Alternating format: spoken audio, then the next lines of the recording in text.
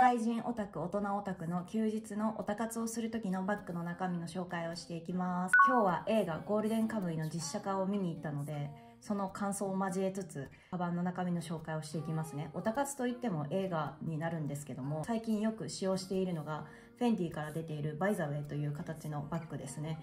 2way になってて、肩から下げられる紐もあって、この手持ちバッグ。ここは付け外しが可能に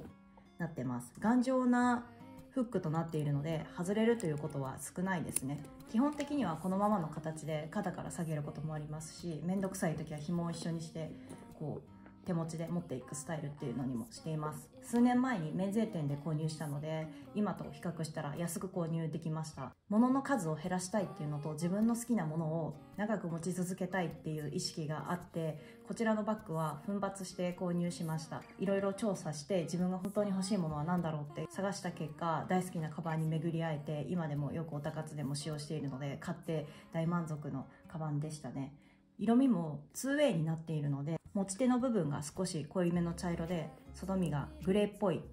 色になっているのでこのアクセントも素敵だなと思ってます。チャック部分も手持ちの部分と一緒です。中を開けていきますね。今回ゴールデンカムイの金カムの尾形が見守ってくれてるんですけども私は尾形推しです。まずはお財布ですね。こちらはセリーヌのお財布です。手のひらサイズなのでかなり持ってきやすく基本的にはスマートフォンからのキャッシュレス決済が多いから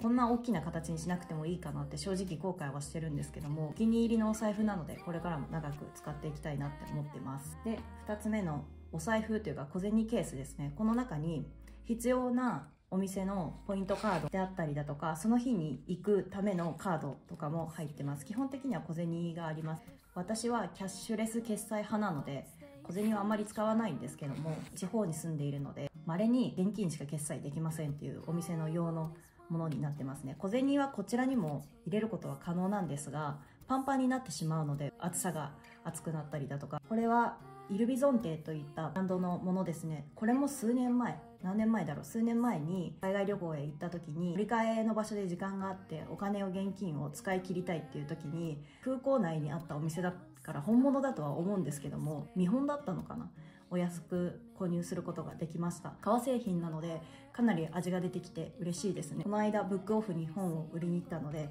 ブックオフのカードが入れっぱなしです。お財布たちはこの2つになっています。次は撮影がしているのでケースだけになるんですけども iPhone13 mini の入れてます。スマートフォンは電車に乗る時もキャッシュレス決済をする時も必要なポイントカードも入っているので肩身離さず持っているものですね。あとはコスメ類はこのポーチはフルラのポーチですね。これもだいぶ長いこと使ってて大昔に三つ子ポーチっていうのが流行って大中小っていうそのタイプの中のバージョンとなってます。もう確か廃盤となっているんですけどもこの形とこの色が大好きでかなりスレが見られるんですけどもまだまだ使えるなっていう形で使ってます。ちなみにポーチの中身は本当はもっと少なくしたいんですけども映画見に行った後おたかつをしに行った後に知人と会うっていう用事があるのでかなりパンパンになってますね。リップクリームはキールズのリップバームナンバーワンオリジナル。これもだいぶ長いこともちろん買い替えてはいるんですけどもなくなったら消耗したらもう一度買うっていうことをしてるんですがずっと長いこと肌荒れ荒れの乾燥肌の人にもバッチし合うリップクリームですね。ただこれのデメリットとしては少し黄みがかった石油っぽい形のリップとなっているのでテクスチャーが苦手なタイプの人は苦手かもしれません。パウダーは MIMC を今使ってます。惰性で使ってるのでフィルを前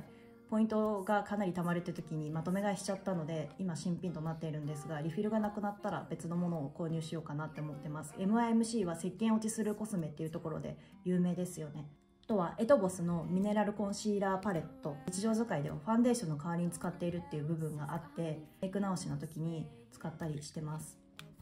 クラランスのコンフォートオイルリップを使用しています。こちらも四角いパッケージの時から利用していて唇にのせると綺麗に発色してくれるので落ちづらいっていう点でもかなり愛用している品です。ね私は眉毛が命なのでザンヌのスーパースリムアイブロウ眉尻がなくなってしまった時にささっとかけるように入れてあります。チーク代わりに使っているセザンヌパールグローホワイトナンバーワンハイライトですね。ハイライトをチーク代わりに利用してます。以上こんな形のメイクアイテムでした。本来はもう少し少ない数数でそれこそリップクリーム1本だけっていう形で持ってっているんですけども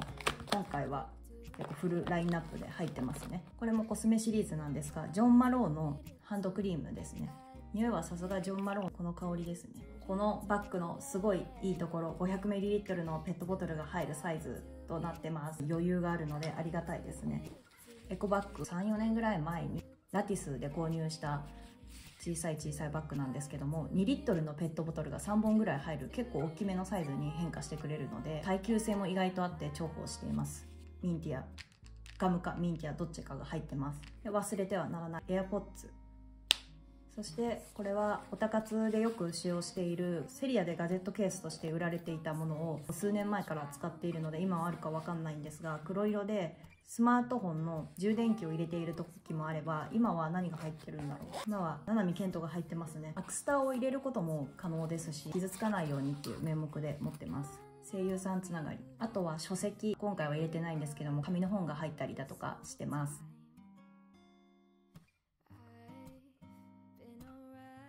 以上が大人オタク休日のバッグの中身の紹介でした。映画を見てきて思ったのがリアルに再現されていて動物の CG がかなり魅力的だったのと服装の部分がこだわりがあって魅了されてしまったのと俳優さん一人一人の役柄がマッチングしていたことにかなり興奮しました。そして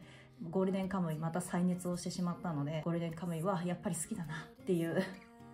気持ちになったのと、磨木西パが出てきた時に、源次郎ちゃんって心の中で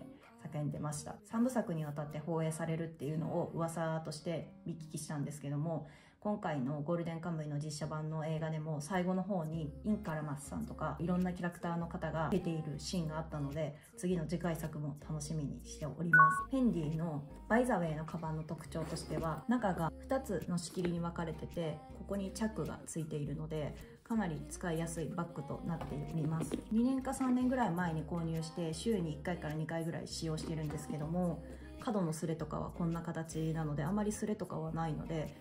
使いやすいバッグです。ただ下に留め具っていうんですかね。下に置いても大丈夫なようなボタンの金具のようなものはついてないので苦手な人は苦手かもしれないですね。ここの手持ちの部分が購入した時は結構硬くて動きづらいんですよ。これをまっすぐにするとこういう形になってるんですね最初の販売の時は。でここを上げるのが最初は結構硬いんですけどもう今は手持ちスタイルで持ってっているのでかなり馴染んできたかな。カバンの中身を紹介をしてきました。ここまで見てくださりありがとうございます。また次回も見ていただけますと嬉しいです。